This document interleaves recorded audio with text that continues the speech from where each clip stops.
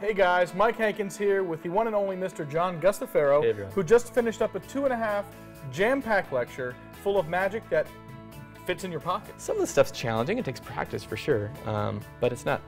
It, it's it can be done in the real world. I like to do stuff that I could do confidently, so I could focus on interaction. A lot of fun card stuff.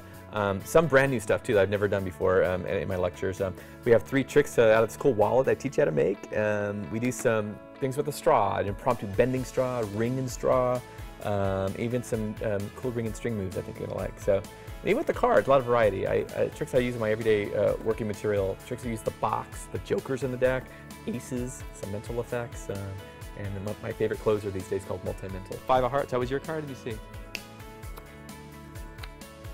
We got it. The five of hearts. Don't fade, Frank. Don't fade. So there you have it, guys. Two and a half jam-packed hours of some really workable stuff there. Stuff that I'm going to put in my repertoire. Hopefully you'll put it in yours, because you will, because you're going to get this. You're going to watch it, and it's going to fool you like it fooled me. Like literally, some of these effects really fooled the crap Nice, out of me. thank you. So pick it up, uh, put it down, move it over, whatever. Watch it.